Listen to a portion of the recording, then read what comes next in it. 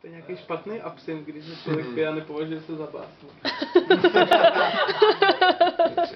Tady To není ten skutečný, to je Jo. falešný. Já jsem rozpěl ten takový ten, jak Hmm, jako to není nic moc. no. Nic moc, měli by to ostali tím tyonem. No. A on je zakázaný, on je regulovaný. Šmejdi. Tak má být člověk básník. Právě. Takže scéna. Stojím na scéně a můj parfém těká.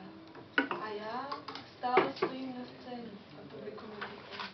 Ale já jen stojím na scéně. Přes 300 řad a tisíce hlav počítám údery srdce. Stojím na scéně a utěkla klaka. Stojím a čekám závan nadšení. Leč ticho jen a šustí jen ruce, které se otáhly od mého šatu.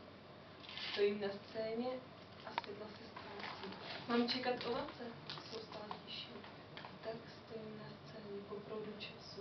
Mé kroky jsou zbytnělé, chrapost v mém hlasu, tadličky na čele, parkety prohnilé. A jen stojím zděšený na scéně. Tak stojíme na scéně čekáme potlesk. Strhnulé strojené postavy drvé. Hledíme dál a hledáme rozbřesk. Jsme prodejné děvky a toužíme klamat celé to jeviště.